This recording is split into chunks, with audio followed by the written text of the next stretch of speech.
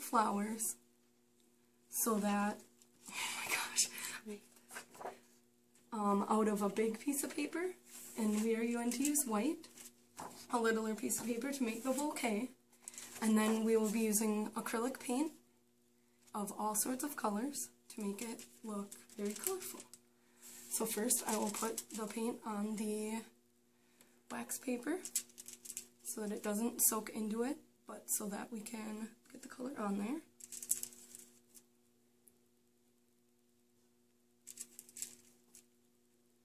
And then we're going to fold it in half and seam it together to make the flowers.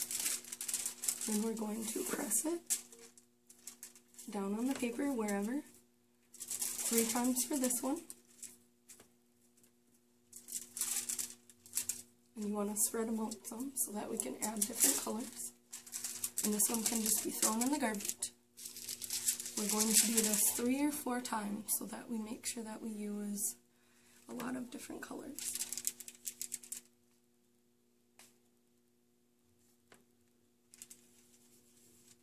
And we don't want to use too much because then it will spread around too much.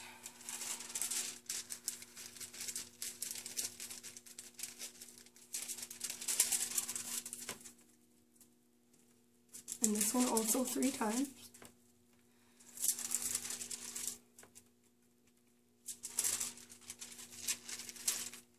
And after each three sets, we're just going to grab a new one.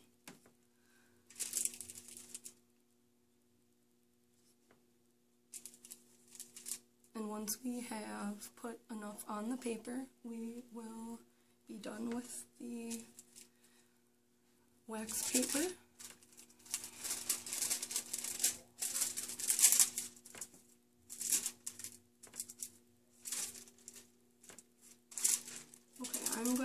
One more fill up more paper.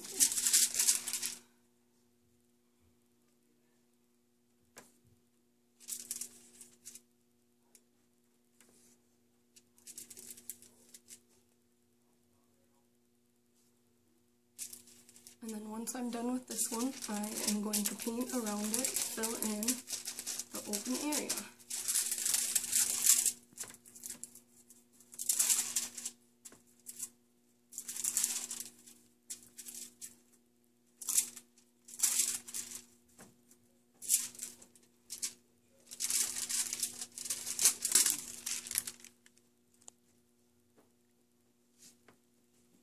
And I'm going to use green.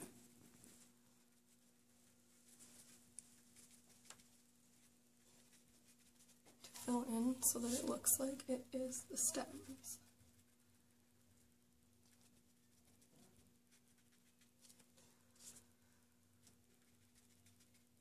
And you want to fill in as much as you can so that it looks like it is a full bouquet.